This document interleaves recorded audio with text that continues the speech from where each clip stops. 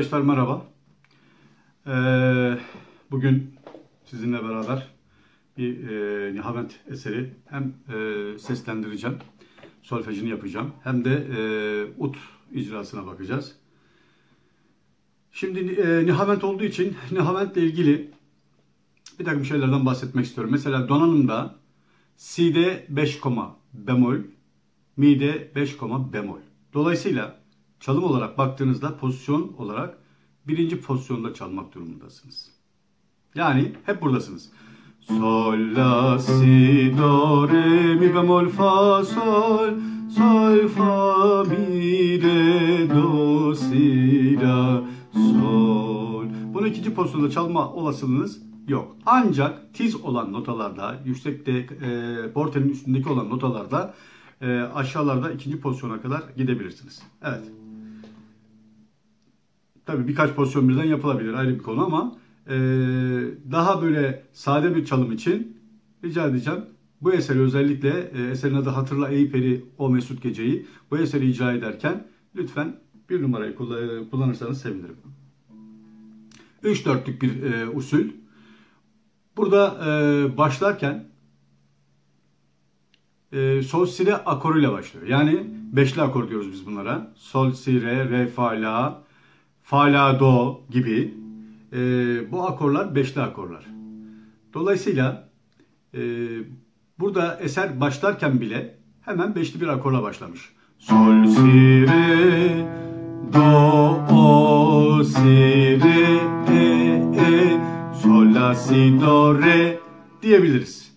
Yani e, çalarken özellikle bu oktavları da kullanmayı ihmal etmeyin. Bir de diğer taraftan en önemli şeylerden bir tanesi 3 dörtlük eserleri çalarken lütfen 1 dörtlük, 2 dörtlük, efendim 2 e, dörtlük noktalı gibi olan tüm notalara, değerdeki notalara lütfen üstten vururuz. Yani kural olarak şöyle koyalım. 3 dörtlük eserlerde hep üstten vuruyorsunuz. Sadece üst alt yapacağınız kalıplar iki tane sekizliğin birleşimi olan bizim de İzmir kalıbı dediğimiz kalıplar. Yani sol si re do si re sol la si do re veya re e e re e e de diyebilirsiniz. İki tane oktavlı yapabilirsiniz. Şimdi o e, üst alt kısmı geldiğinde size bilgi vereceğim. Genelde e, burada nerede var mı? Evet bir tek yerde var. Onu çalarken anlatacağım. Sol si re do si re sol la si do re sol si re do si la re fa la la si do si la do mi re la si do si la sol si re sol bir daha alıyorum sol si re do o si re e e. Sol la si do re sol si re do si la. Re fa diyez la la si do si la. Do mi re la si do si la. Sol si re sol.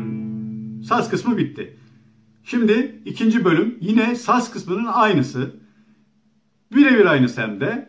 Dolayısıyla burayı ee, ne yapacağız? Şam bölümünün birinci bölümü olarak inceleyeceğiz. Aslında eserin tamamına baktığımızda ikinci bölüme gelmiş olduk.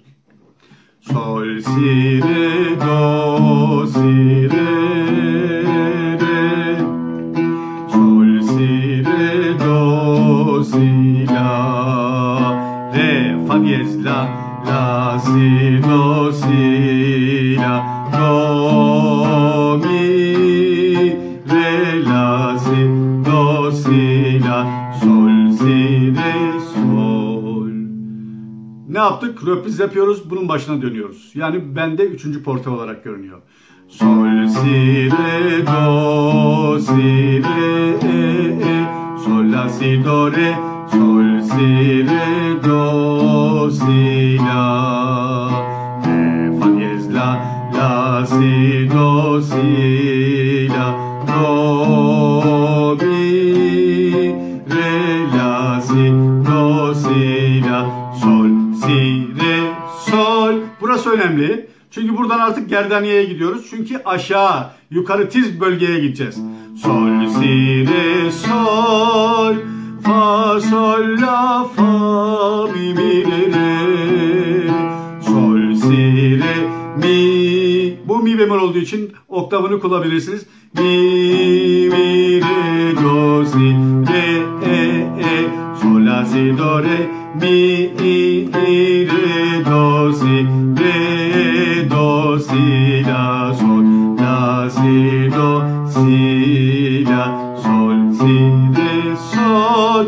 röpiz olduğu için. Fa, sol, la, fa, mi, mi, re, re, sol, si, re, mi,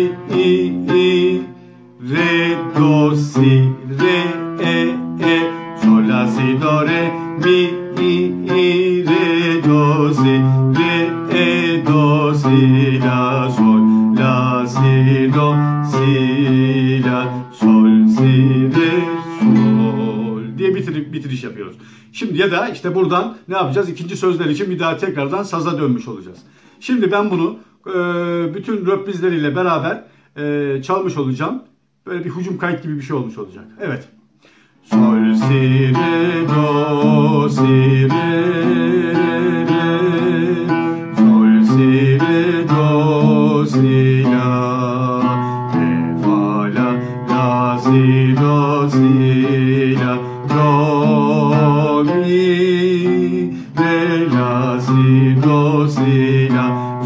Sol, si, re, sol. Bir daha dönüyorum. Sol, si, re, do, si, re. Sol, la, si, do, re. Sol, si, re, do, si, la. Re, fa, la, la, si, do, si, la. Do,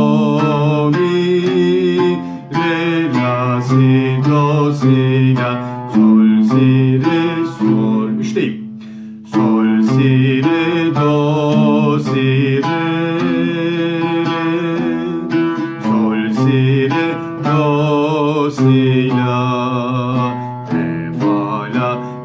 Si, do.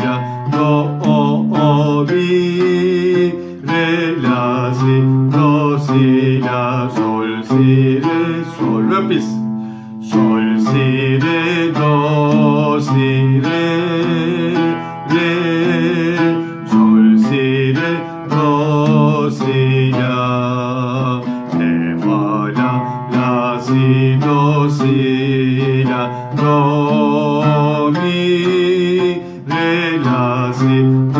Si, la. Sol, si, re, sol. Gerdaniye. Fa, sol, la, fa, mi, mi, re. Sol, si, re, mi, re, do, si, re. Sol, la, si, do, re, mi, re, do, si,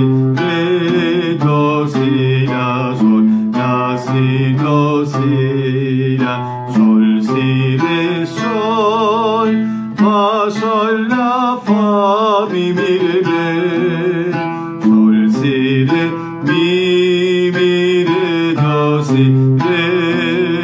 Sol, si, re, mi, mi, miler. Mi, re, do, si, re, do, si, la, sol, la, si, do, si, la, sol, si, re, sol. Beğenmeyi unutmayın arkadaşlar. Ayrıca e, lütfen bununla ilgili olan yani müzikle ilgili olan arkadaşlarınızı da e, uyarmayı ihmal etmeyin. Kanalıma e, lütfen abone olsunlar ve beğensinler. Teşekkür ederim. Görüşmek üzere. Kolay gelsin.